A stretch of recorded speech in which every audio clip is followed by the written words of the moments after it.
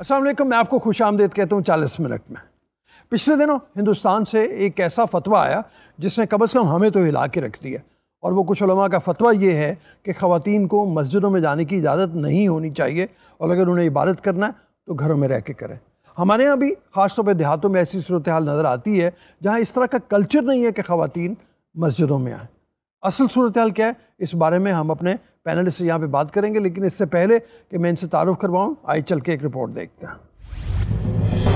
بھارت میں پونے شہر کے ایک مسلم جوڑے نے خواتین کے مسجد میں نماز پڑھنے کے فتوے کو عدالت عظمہ میں چیلنج کیا ہے۔ سپریم کورٹ نے درخواست کو سماعت کے لیے منظور کر کے حکومت اور متعلقہ کاؤنسل کو نوٹس بھی بھیج دیا ہے۔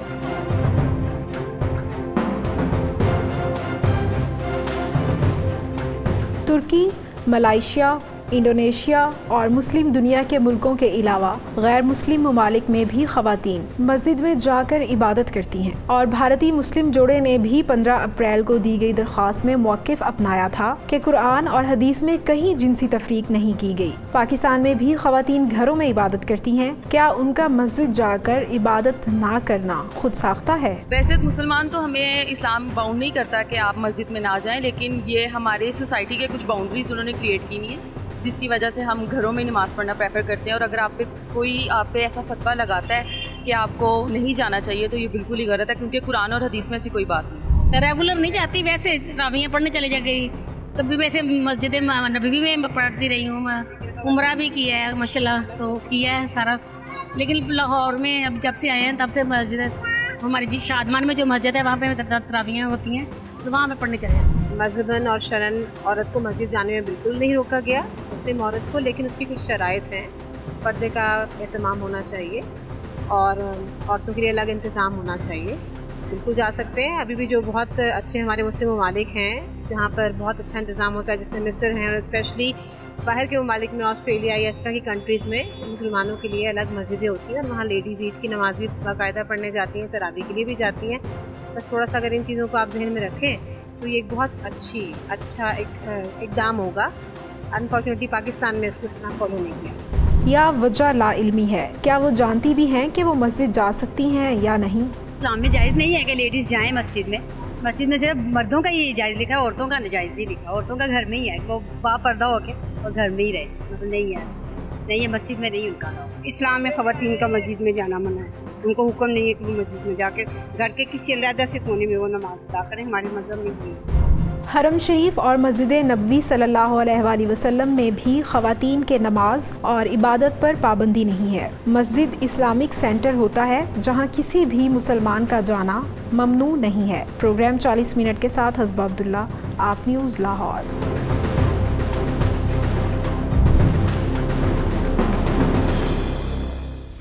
جی رپورٹ آپ نے دیکھی؟ میں تعارف کرواتا ہوں اپنے پینلسٹ کا۔ ہمارے سب سے پہلے بیٹھے ہیں علامہ ضیاء اللہ شاہ بخاری صاحب۔ دینی اسکالر ہیں، بہت سے ٹی وی پروگرام پہ شرکت کرتے ہیں۔ آپ کا بہت شکریہ۔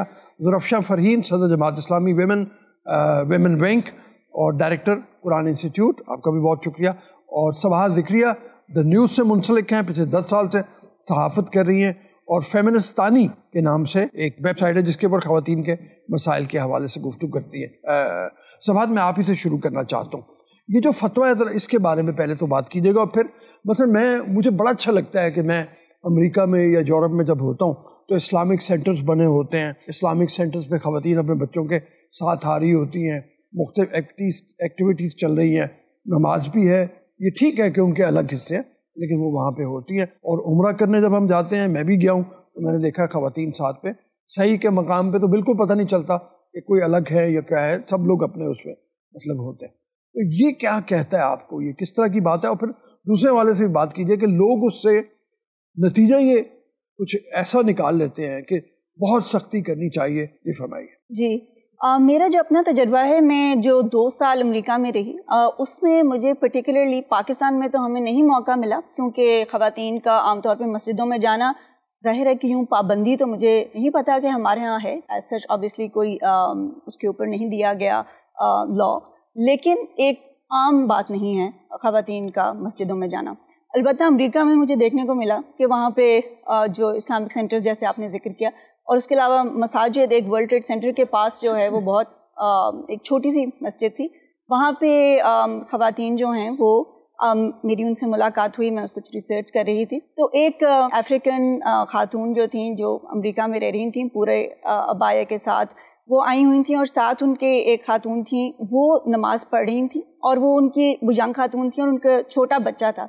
تو وہ اس کا خیال رکھ رہی تھیں اور تاکہ یہ خاتون جو ہیں یہ نماز پڑھ سکیں۔ تو وہ ظاہر ہے ادھر ہی پاس ہی جو ہے وہ آفس میں کام کرتی تھیں اور اسی طرح مسجد کے، آ کر جس جو دو دفعہ ان کی مسجد آنا ہوتا تھا ظہر اور عصر کے لیے نائن ٹو فائیو کے ٹائمنگ کے دوران۔ تو بہت ہی اچھا لگا کہ ان کو جو ہے یہ اگر نہ یہ اسپیس ہو، اگر وہ اپنے گھر سے باہر نکل کر کہیں اور مسجد کہیں جا کر نہ پڑھ سکیں نماز تو ظاہر آفس میں تو ایسی اسپیس جو ہے، ایسے ملک میں ان کے لیے مہیا نہیں ہو سکتی۔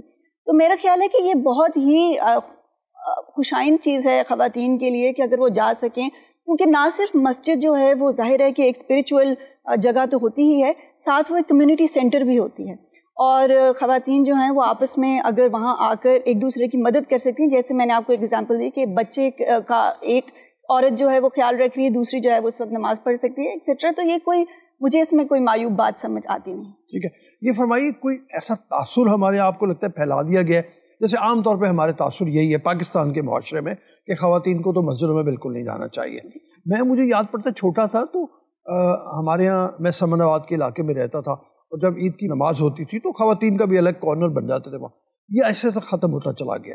بہت کم جگہ ایسی رہ جاتی ہوں گی جہاں پہ ایسا کچھ ہوتا ہوگا۔ اور مسجدوں میں خاص طور پہ چھوٹے علاقوں، دیہاتی علاقوں میں، عام مین مساجد میں بھی جائیں۔ بادشاہی مسجد میں شاید کچھ ہوتا ہوگا۔ اس کے علاوہ کہیں کوئی نظر نہیں آتا۔ تو یہ کیا ہے؟ یہ کوئی پھیلا دیا گیا ایسا کوئی سوچ کو؟ یہی ہے کہ میرا خیال ہے کہ ایک بہت بعض اوقات کچھ ایسی کلچرل چیزیں ہوتی ہیں کہ جن کے اوپر لوگ جو ہے وہ زیادہ غور نہیں کرتے، اس کو کوشچن نہیں کرتے کیونکہ وہ چلی آ رہی ہوتی ہیں۔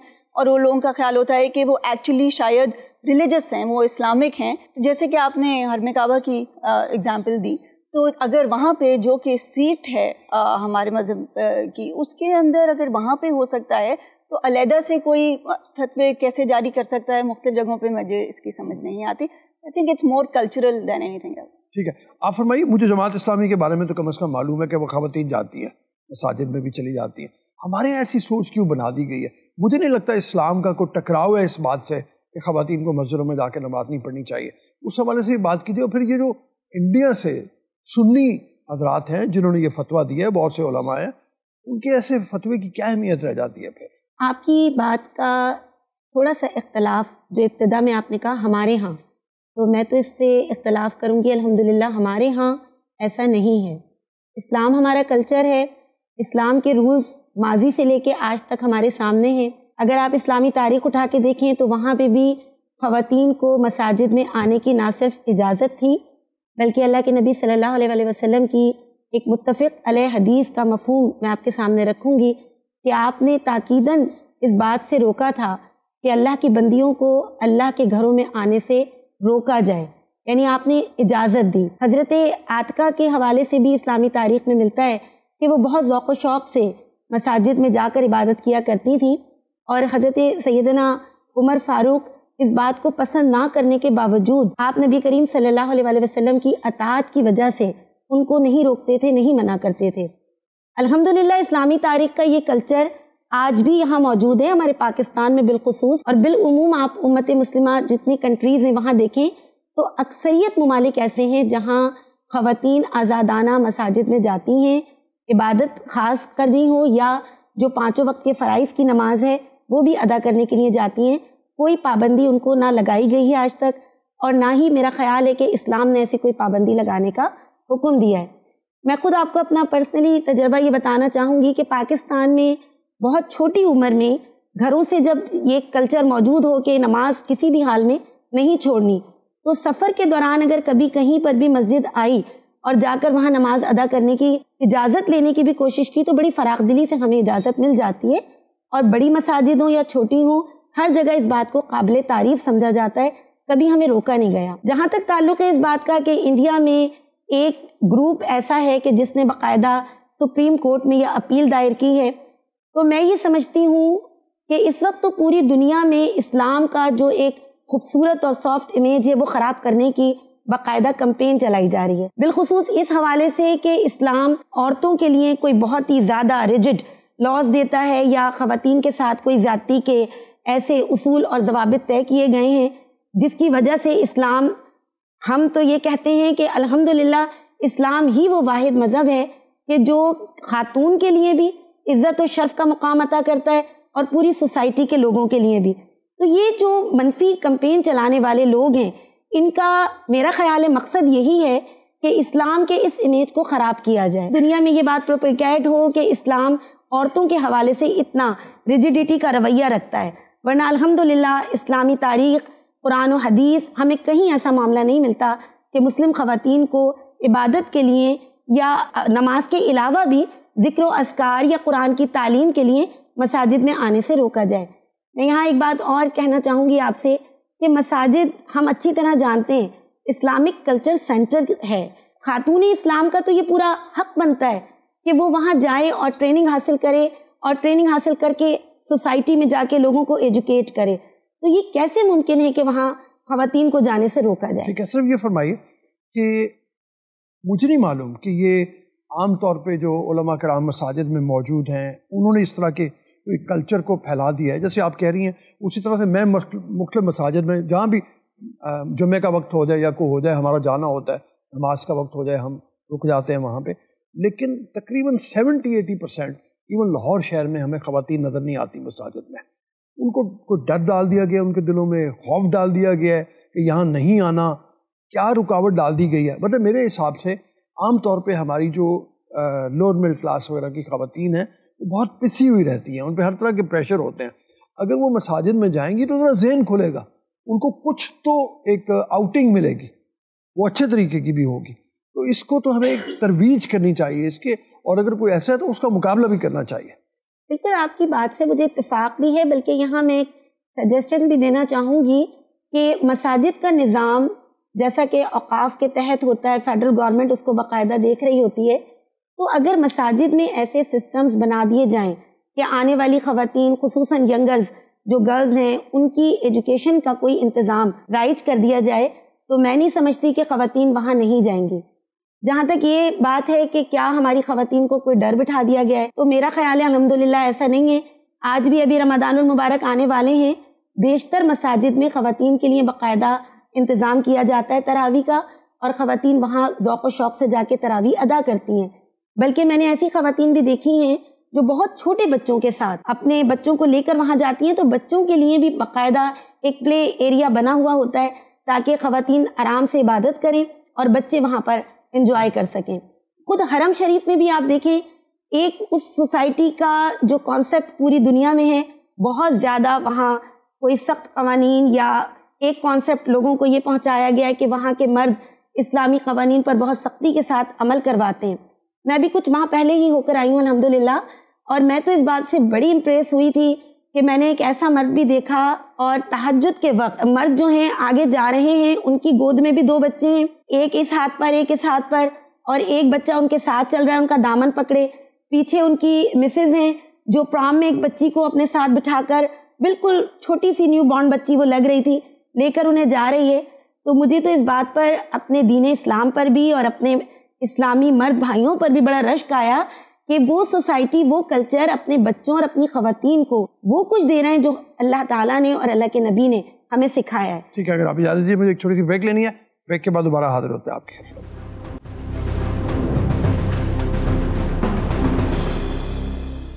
جی دوبارہ حاضر بریک کے بعد علامہ ضیاء صاحب سے بات کرنے سے پہلے میں چاہ رہا ہوں یہ بچی یہاں پہ بیٹھی ہے۔ بیٹا یہ بتاؤ آپ کبھی مسجد گئی ہیں؟ جی بالکل۔ اچھا آپ کو ویسے لگتا ہے کہ اور بھی خواتین ہوتی ہیں کوئی رکاوٹ جی۔ کوئی یہ بھی ہے؟ بہت اچھا انوائرمنٹ ہوتا ہے اچھا۔ رمضان میں اور عید پر۔ رمضان کے علاوہ نہیں گئی؟ نہیں کیونکہ ایسا یہاں پر دیکھا نہیں جاتا کہ عورتوں کو جاتے ہوئے۔ آپ کا دل نہیں چاہتا عام دنوں میں جانے کو؟ چاہتا ہے کبھی کبھی لیکن یہاں پر یہ ہے کہ عورتوں کو برا سمجھا جاتا ہے میرے خیال سے کہ مسجد میں اکیلے کیوں جایا جائے؟ وہاں پر صرف اور صرف عید کے لیے یا رمضان میں تراوی کے لیے اہتمام ہوتا ہے اس کے علاوہ یہاں پر اہتمام نہیں کیا جاتا ہے ایز سچ ٹھیک ہے۔ جی بیٹا عام دنوں میں جانے کا کبھی آپ کا اتفاق ہوا ہے یا آپ کو ڈر لگتا ہے آپ کو بھی کوئی خوف آتا ہے؟ آپ کو لگتا ہے ایسا کلچر نہیں ہے کہ عام دنوں میں خواتین جائیں؟ عام دنوں میں ایسا مجھے اتنا آئیڈیا نہیں ہے لیکن عیدین کے موقع پر وہاں پر اہتمام کیا جاتا ہے۔ اچھا۔ نماز کے لیے خواتین کے لیے۔ ٹھیک ہے۔ اور رمضان میں بھی تراویوں کے لیے کیا جاتا ہے؟ رمضان میں تو مجھے پتا ہے کہ عام مطلب خاص علیحدہ کر لیا لیکن عام دنوں میں نہیں ہوتا۔ عام دنوں میں نہیں اور بڑی مساجد میں جیسا کوئی اسپیسیفکلی انہوں نے کیا وہ تو بڑی۔ خاص جگہ ہے نا۔ ہاں جی۔ وہ لیکن عام عام علاقوں مساجد میں اتنا نہیں کیا جاتا خواتین کے لیے تمام یہ چیز میں نے دیکھی ہے۔ ٹھیک ہے چلیے علامہ صاحب کی طرف چلتے ہیں۔ علامہ صاحب یہ آپ کو لگا مطلب کہ عام دنوں میں خواتین کا جانے کا کلچر ہی نہیں ہے ماحول ہی نہیں ہے۔ اور چھوٹے علاقوں میں تو اتنی سختی ہے کہ جس کی کوئی حد نہیں وہ پتہ نہیں کیوں بھگا دیتے ہیں خواتین کو سوائے فتویٰ دینے کے لیے بلانے کے عام طور پہ نہیں بلایا جاتا، اس بارے میں بات کی تھا بسم اللہ الرحمن الرحیم، اسلام، بحثیت دین، بحثیت نظام زندگی، وہ جتنے مواقع تعلیم کے حصول کے، دین کو سیکھنے کے مردوں کو مہیا کرتا ہے، اتنے ہی مواقع وہ خواتین کے لیے بھی مہیا کرتا ہے۔ بلکہ خواتین کے لیے زیادہ ترغیب دی گئی۔ جیسے ہمارے بزرگوں نے فرمایا، مرد پڑا تو فرد پڑا خاتون پڑی تو خاندان پڑا۔ جب ایک خاتون پڑتی ہے تو اس کے اثرات پورے قبیلے پر، خاندان پر فیملی پر، ماحول پر مرتب ہوتے ہیں۔ تو یقیناً اسلام کی تو منشا ہے۔ اسلام کی ترغیب ہے کہ خواتین زیادہ سے زیادہ اپنے دین کو سمجھیں اور اس کی تعلیمات کو سیکھیں اور آگے اپنی نسل کو سکھائیں، اپنے ماحول میں ان کو پھیلائیں۔ اس لیے اسلام نے خطبات جمعہ کی حاضری، اس کی ترغیب دی ہے، فرض نہیں کیا اس لیے کہ اسلام دین فطرت ہے۔ خواتین کی بہت ساری مصروفیات ہوتی ہیں اپنے گھر میں بھی، اپنے خاندان میں، اپنے بچوں کو سنبھالنے میں۔ اس لیے فرض نہیں قرار دیا جیسے مردوں پہ فرض ہے۔ خواتین کے لیے اللہ نے آسانی پیدا کر دی، لیکن ترغیب دی کہ وہ کم از کم خطبہ جمعہ کے لیے ضرور آئیں۔ اور اسی طرح عیدین کے لیے تو نبی کریم علیہ الصلاۃ والسلام نے اتنی تاکید فرمائی کہ بعض اوقات بیٹیوں نے، بہنوں نے نماز نہیں بھی پڑھنی ہوتی تو ان سے فرمایا کہ وہاں ضرور جاؤ اور وہاں جا کر کنارے پر بیٹھ کر دعا میں ضرور شرکت کرو تاکہ واضح کر دیا کہ خواتین پر اس لحاظ سے، اسلام کے لحاظ سے کوئی جبر نہیں ہے، کوئی سختی نہیں ہے، کوئی زبردستی نہیں کہ تم مسجد میں نہیں آ سکتی۔ ابھی آپ نے بڑی پیاری بات کی، دونوں بہنوں نے تائید کی۔ بیت اللہ سے بڑھ کے مسجد کون سی ہے؟ مسجد نبوی سے بڑھ کر ہمارے لیے کون سا روحانی مقام ہے؟ وہاں چودہ سو سال سے آج تک امت کا تعامل ہے خیر القرون سے۔ نبی کریم علیہ صلاۃ والسلام کا زمانہ تو سب سے بہترین زمانہ ہے۔ آپ کے دور مبارک سے آج تک یہ سلسلہ چلا آ رہا ہے کہ ہماری امہات المؤمنین، ازواج متحرات، بنات الرسول، نبی پاک صلی اللہ علیہ وسلم کے اہل بیت اطہار کی خواتین، وہ وہاں تشریف لے جاتی تھی مسجد نبوی میں پہنچتی تھی، بیت اللہ میں تشریف لے جاتی تھی۔ سیدہ عائشہ صدیقہ رضی اللہ تعالیٰ عنہ ہماری ماں جی نے اپنا خود واقعہ حج بیان کیا ہے۔ آپ نے خوبصورت بات کی سائی جب صفا مروہ کی ہوتی ہے وہاں تو وہ تمیز ہی نہیں ہوتی مرد بھی وہیں ساتھ ساتھ جا رہے ہوتے ہیں خواتین بھی جاری ہوتی ہیں۔ تو جب اسلام نے پریکٹیکل طور پہ یہ واضح کر دیا کہ اسلام میں تو آزادی ہے من عامل صالحا من ذکرین او انسا وہو مومن فلا نحینہ حیات طیبہ۔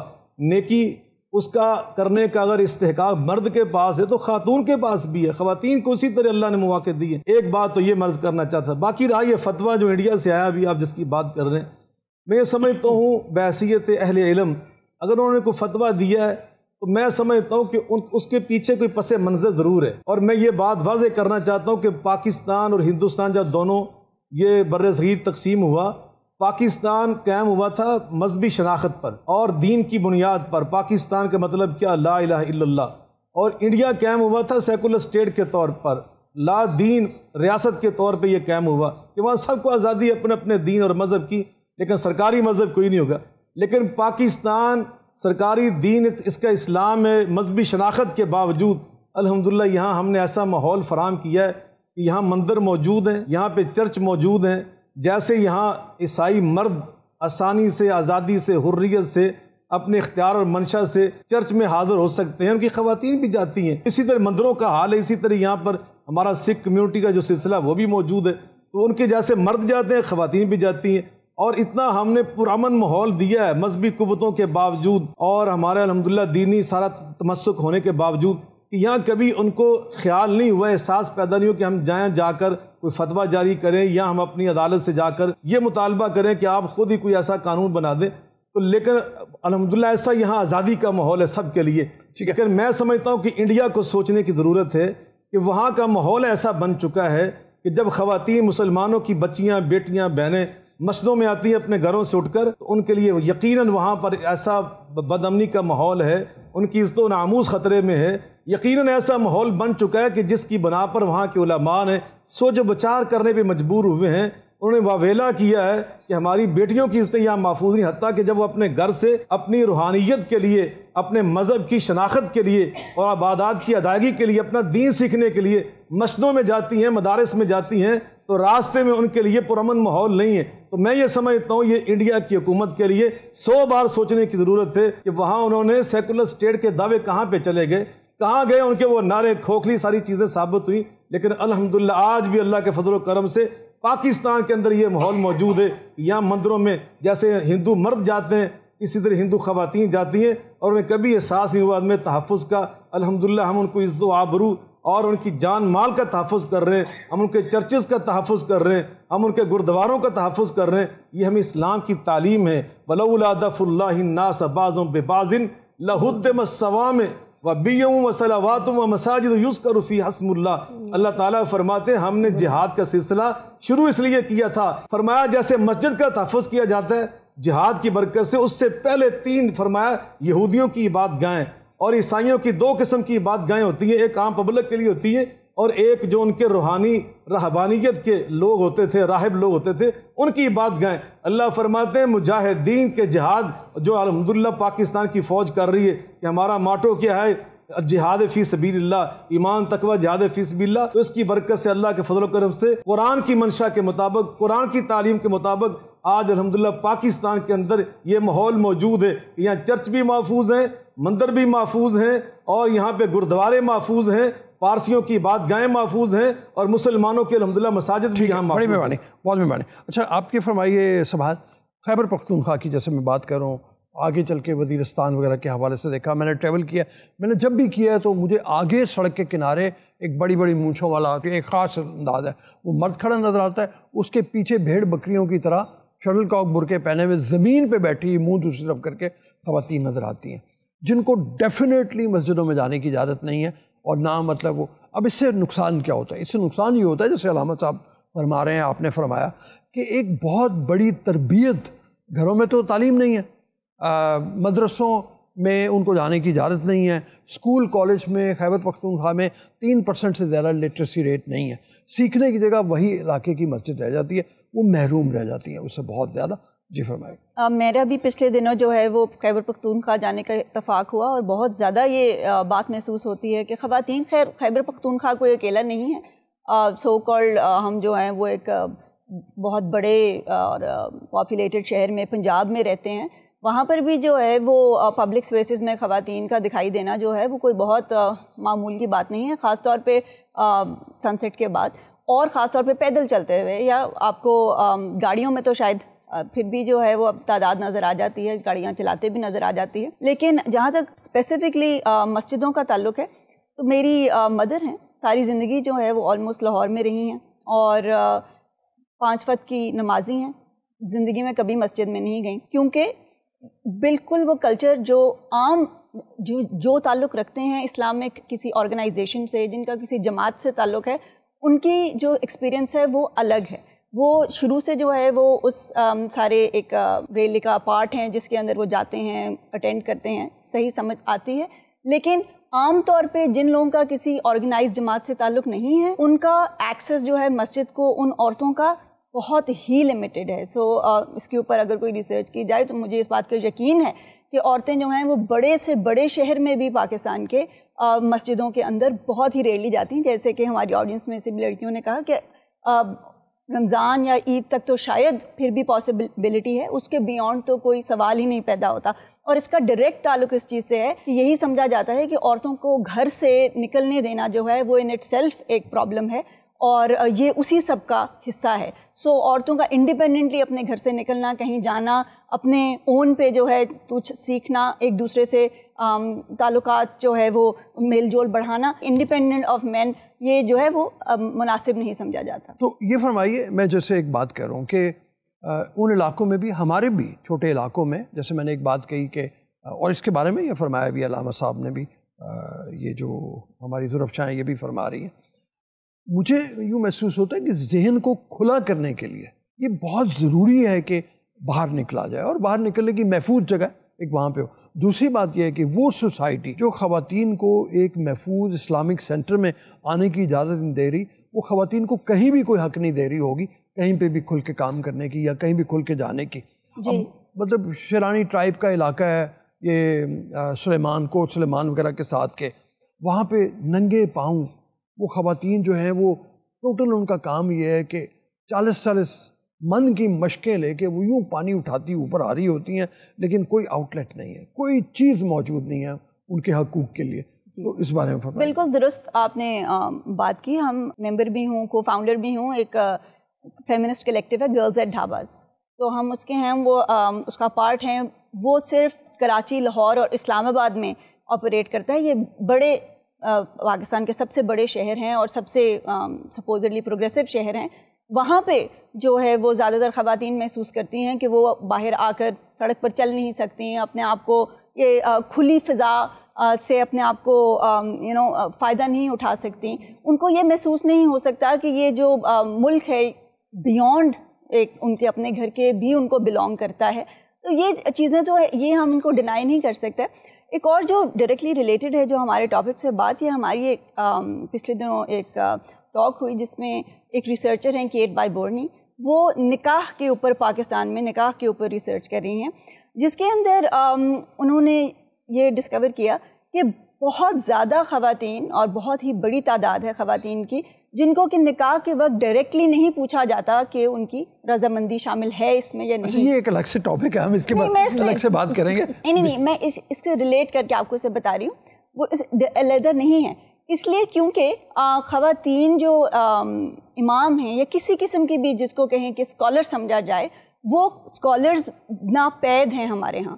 جس کی وجہ ڈائریکٹلی یہ ہے کہ جب مسجدوں سے لنک جو ہے وہ اوور آل کم ہے عورتوں کا، تو ساتھ ان کی اسکالرشپ بھی آٹومیٹکلی اسی طرح ڈکلائن پہ رہتی ہے۔ تو جب اسکالرز نہیں ہوں گی، وہ نکاح نہیں پڑھا سکتی، وہ عورتوں سے ڈائریکٹ بات نہیں کر سکتی تو مردوں کے سامنے عورتوں کا اپنے آپ کو کھل کے ایکسپریس کرنا، ایک جو مولوی صاحب جو ہیں، وہ نکاح پڑھا رہے ہیں، وہاں پہ ایک خاتون کا ان کو کہنا کہ میری مرضی سے نہیں ہو رہا یا ہو رہا ہے؟ وہ پاسبل نہیں ہے۔ تو خواتین کا اس قسم کے جگہوں پر موجود ہونا ریلیجسلی موجود ہونا، یہ بہت امپورٹنٹ ہے اور یہ تبھی ہو سکتا ہے جب وہ آئیں گی مسجد جائیں گی، وہاں پہ سیکھیں گی، ایک کلچر ڈیولپ ہوگا اسکالرشپ کا اور آگے بات بڑھے ٹھیک ہے، بڑی مہربانی۔ ایک چھوٹی سی بریک کے لیے اجازت دیجیے بریک کے بعد دوبارہ ملتا ہے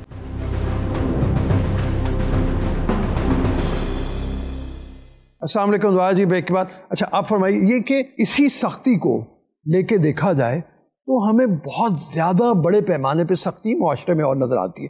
جیسے میں نے کہا، میں نے ترکی میں مجھے بڑا اچھا لگا۔ ایک تو میں اس بات کا قائل ہوں، مجھے جو چند مواقع ملے ہیں حرم پاک کی تو صورتحال جو ہے، وہ اس کو تو بیان نہیں کیا جا سکتا، یا نبی اکرم صلی اللہ علیہ وسلم کے روزے پہ جو ہے، جو جذباتیت مجھے خواتین میں نظر آتی ہے، وہ مردوں میں نہیں ہے۔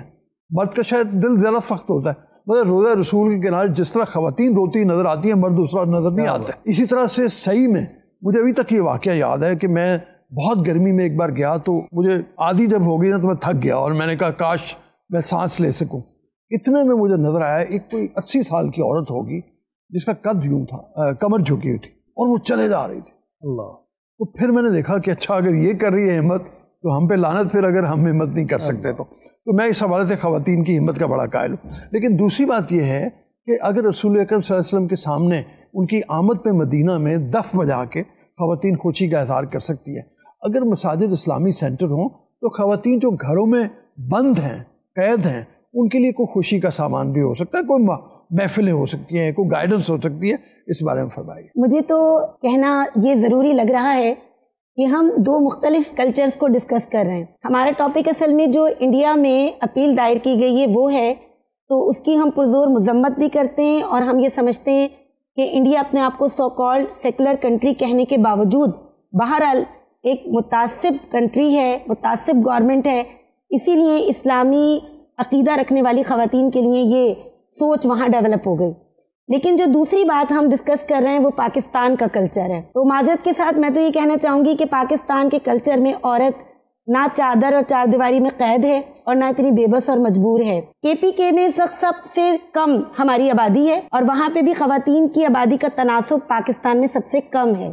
ایک مخصوص کلچر ہے جس میں بہرحال بہتری کی گنجائش موجود ہے۔ لیکن اگر آپ ہاں۔ لیکن اگر آپ جو بگ سٹیز ہیں ہمارے کراچی ہے لاہور ہے یہاں کی یونیورسٹیز کا جو طالبات کی شرح تناسب وہاں موجود ہے، اس کا جائزہ لیں تو حیران کن بات یہ ہے کہ گزشتہ دس سال سے ٹاپ آف دی لسٹ ہماری بچیاں ہیں، خواتین ہیں۔ اس وقت پاکستان کی سول سروسز ہوں یا پارلیمنٹ ہو یا آپ کا ایجوکیشن کا کوئی ڈپارٹمنٹ ہو، ہر بڑی ڈیزگنیشن پر خاتون موجود ہے الحمدللہ۔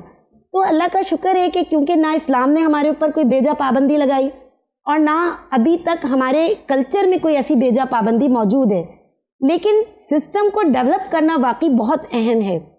میں باحثیت خاتون کے یہ ضرورت محسوس کرتی ہوں کہ مساجد کا جو کردار ہونا چاہیے سوسائٹی میں، وہ سسٹم ڈیولپ نہیں ہو سکا۔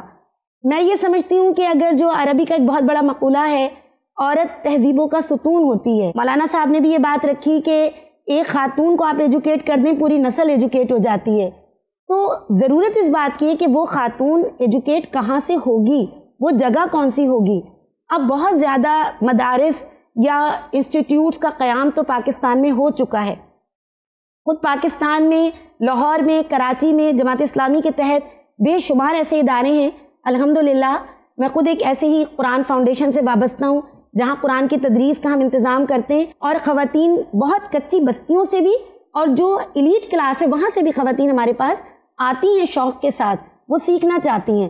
لیکن ہم اپنی استطاعت بھر کوشش کر رہے ہیں۔ گورنمنٹ کی سطح سے اگر یہ کوشش ہوگی مساجد کو اگر یہ سینٹرز بنا دیا جائے گا کہ وہاں پر خاتون کی ایجوکیشن کا انتظام ہو اسلامی تعلیمات کی اویئرنیس ان کو دی جائے اسلامی لاس کی ان کو اویئرنیس دی جائے۔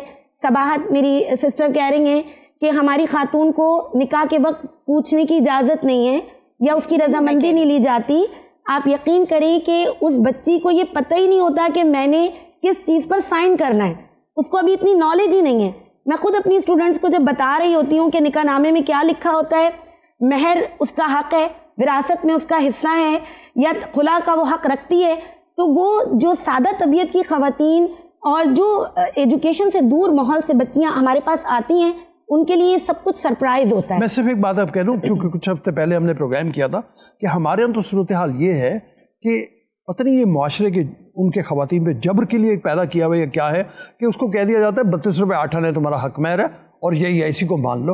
یہ بالکل غلط ہے ایسا نہیں ہونا چاہیے۔ بالکل جیسے حضرت علی کرم اللہ وجہ کا رسول اکرم صلی اللہ علیہ وسلم نے حق میں وہ دیا وہ چاندی کی صورت میں کائنٹ کی صورت میں جو وقت کے ساتھ بڑھے۔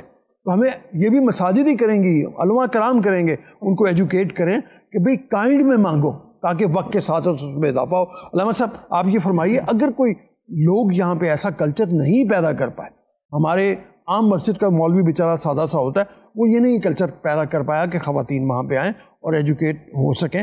تو پھر ان کے بارے میں کیا کیا جائے؟ ان کو کیسے ایجوکیٹ کیا جائے؟ پہلی تو بات یہ ہے کہ میں چونکہ خود مساجد سے منسلک آدمی ہوں میں باقاعدگی سے پچھلے بتیس سال سے جب سے میں تو ایک عالم آدمی پڑھے لکھے سے پڑھ کے آیا ہوں میری مسجد میں الحمدللہ جتنے مرد ہوتے ہیں اس سے زیادہ خواتین ہوتی ہیں۔ اچھا ماشاء اور خطبہ جمعہ میں عید میں تو زیادہ ہوتی ہیں۔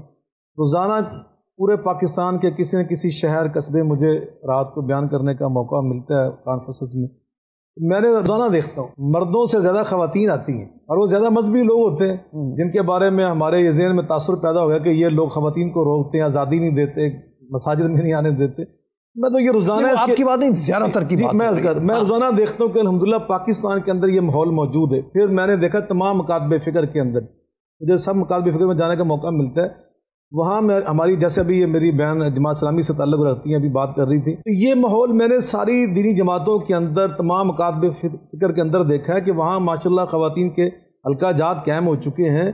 وہاں ہماری بہنیں، بیٹیاں خود بخود ہی اس سسٹم کو چلا رہی ہیں۔ قرآن کی کلاسز شروع ہیں، دروس قرآن ہوتے ہیں اور کبھی سیرت النبی کے عنوان پر، میلاد مصطفیٰ کے نام یعنی کسی نہ کسی حوالے سے نبی پاک وسلم سے محبت کے اظہار کے لیے یا کسی نہ کسی دینی کوئی پروگرام کے انعقاد کے طور پر خواتین گھروں سے نکلتی ہیں، مساجد میں آتی ہیں، مدارس میں پہنچتی ہیں، مراکز میں آ کر وہ پروگرام میں شریک ہوتی ہیں، دین سیکھتی ہیں، اپنے ایمان کو جلا بخشتی ہیں۔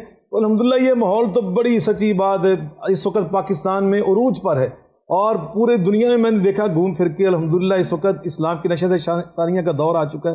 ابھی آپ نے بڑی خوبصورت بات کی کہ سنگاپور میں، ملیشیا میں ایسا ہو رہا ہے۔ ابھی ترکیہ میں ایسا ہو رہا ہے۔ مصر کے اندر ہم نے جا کے دیکھا ہے۔ سارے ملکوں کے اندر اس وقت ایک تحریک الحمدللہ پروان چڑھ رہی ہے اور اسلام بڑی تیزی سے اس لیے اس کے اندر مضبوطی بھی آ رہی ہے۔ یعنی میں نے دیکھا خواتین کی وجہ سے الحمدللہ جو ہماری آنے والی نسل ہے ان کے اندر اسلام کے بارے میں ایک خاص کشش بھی ہے، تمسک بھی ہے۔ باقی رہی جو بات ابھی آپ نے ارشاد فرمائی کہ جو ہمارے دیہاتوں کے اندر صورت حال ہے، چونکہ ہماری ہماری پوزیشن یہ بن چکی ہے کوئی ایسی بات ہوتی ہے، معاشرے کی ہم اٹھا کے مساجد میں مولوی حضرات پہ لے آتے ہیں۔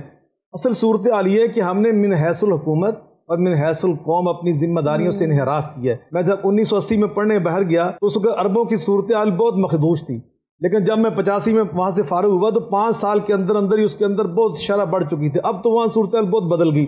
اب وہاں پر صورتحال یہ ہے کہ وہاں کسی مسجد کا معذن پھر معذن کے بعد امام امام کے بعد خطیب خطیب کے بعد مفتی عام، یہ جو دراجات ہیں، ان کے لیے صورت حال وہاں کہ وہاں معذن بننے کے لیے، کسی مسجد کا معذن متعین ہونے کے لیے جو سب سے چھوٹا منصب وہاں پہ ہے، اس کے لیے وہاں سولہ سال کی ایجوکیشن کی ضرورت ہے۔ اور پھر وہ ٹیسٹ پاس کریں اور اس ٹیسٹ میں اکثر وہ لوگ فیل ہو جاتے ہیں۔ تین تین چار چار بار ان کو مواقع دیے جاتے ہیں۔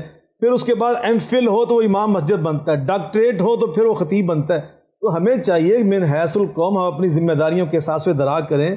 ایسے علماء پیدا کریں جو ان مساجد میں آ کر ان مساجد کو آباد کریں۔ علم کی روشنی کے ساتھ۔ اس سے پھر انشاءاللہ فرقہ واریت بھی ختم ہوگی۔ اس سے اخلاقیات انشاءاللہ ہماری بلند ہوگی۔ تعلیم انشاءاللہ دین کی میں کہتا ہوں ہم نے یہ عجیب تقسیم کی کہ عصری تعلیم اور دینی تعلیم، دین تو ہے ہی ہمارا ہر اثر اثر کے لیے، ہر زمانے کا یہ دین ہے۔ اس لیے ہماری جو دین کی تعلیم ہوتی ہے، وہ تو ہر زمانے کی تعلیم ہوتی ہے۔ ان میں تو ہے نہیں عصری اور غیر عصری کی تقسیم۔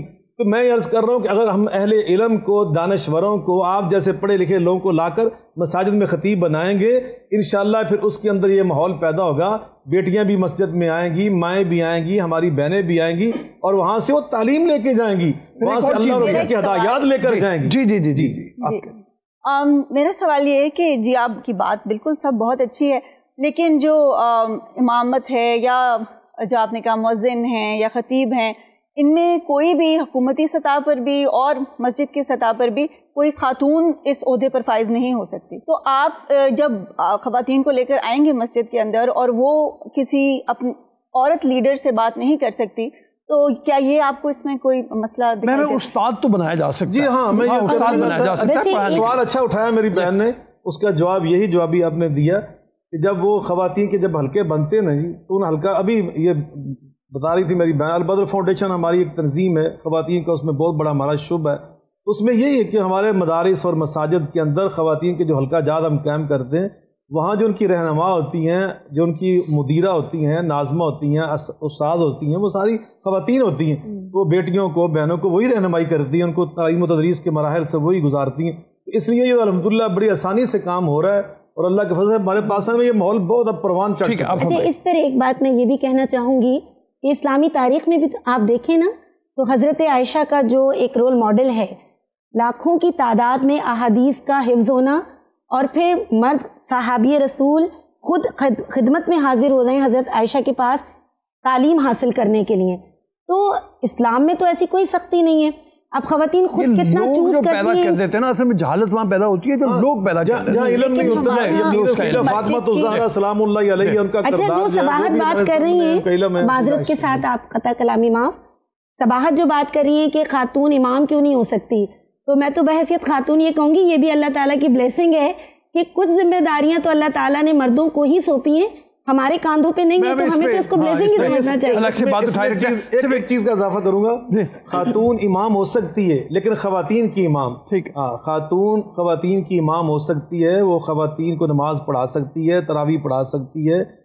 وہ خاتون امام بن سکتی ہے اپنی خواتین جن چیزوں پہ اللہ تعالیٰ نے رعایت و سہولت دی ہے جی۔ خواتین کو ان سہولت سے فائدہ اٹھانا چاہیے۔ جی۔ علامہ صاحب جو کہہ رہے ہیں کہ خواتین امام ہو سکتی ہیں خواتین کی تو میرا خیال ہے کہ ہمیں حکومتی سطح پر چاہیے کہ ایسے مساجد ہوں۔ ہاں بڑی اچھی بات ہے کمیونٹیز میں جہاں پہ ہاں۔ خواتین ہوں تاکہ یہ جو میں آپ کو پہلے بہت اچھی بات ہے بڑی اچھی بات بہت خوبصورت بات بس میں اسی پہ ختم کرنا چاہوں گا کہ جیسے ہمارے ان تمام لوگوں نے یہاں پہ کہا ہے کہ خواتین کو مسجد میں جانے میں کوئی رکاوٹ نہیں ہے۔ اگر کوئی رکاوٹ پیدا کرتا ہے تو وہ غلط ہے اسلام میں ایسی کوئی بات نہیں ہے۔ اور میں ایک بات سے بالکل اتفاق کرتا ہوں علامہ صاحب کی اور خیال میں اسی کو ہمیں زیادہ آگے بڑھانا چاہیے۔ ہمارے یہاں بھی اگر یہ صورتحال ہو جائے کہ مساجد کی امامت کے لیے مساجد میں اساتذہ کے طور پہ M Phil P H D حضرات ہوں اور خواتین کی اور مردوں کی بھی خاص طور پہ اس معاملے میں بھی رہنمائی کر سکیں کہ ان کے حقوق کیا ہیں۔ ان کو خاص طور پہ خواتین کو نکاح کے وقت ان کے حقوق کیا ہیں؟ اگر ان کو کوئی ان کا حق نہیں دے رہا تو وہ کیسے فائٹ کر سکتی ہیں؟ یہاں تک کہ میرے خیال میں شاید یہ بھی اگری کریں کہ اگر خواتین کو روزگار کے مواقع میں کوئی گائیڈنس چاہیے ہو تو وہ گائیڈنس بھی ان کو وہاں سے ملنا چاہیے۔ آڈینس میں ماشاءاللہ یوتھ میجورٹی بیٹھی ہوئی ہے بلکہ میرے خیال میں ٹوٹل میجورٹی ہماری یوتھ ہے۔ مساجد کو آباد خواتین کر سکتی ہیں اللہ کی طرف سے کوئی پابندی نہیں۔ لیکن مرد بھائیوں پہ تو فرض ہے نا؟ ہمارے بیٹوں پہ فرض ہے۔ خواتین اپنے بیٹوں کو بھی مساجد میں لے کر آئیں اور جو یہاں موجود بچے ہیں، ان سے بھی میری ریکویسٹ ہے کہ مساجد کو آباد کریں۔ ٹھیک ہے، ہمارے پروگرام کا وقت ختم ہو رہا ہے۔ آپ نے امید ہے آج کی بات سے کچھ سیکھا ہوگا۔ ہمیں اپنا فیڈ بیک ضرور دیجیے گا آج کے حوالے سے۔ ان شاء اللہ تعالیٰ پھر ملیں گے۔ اللہ حافظ الناس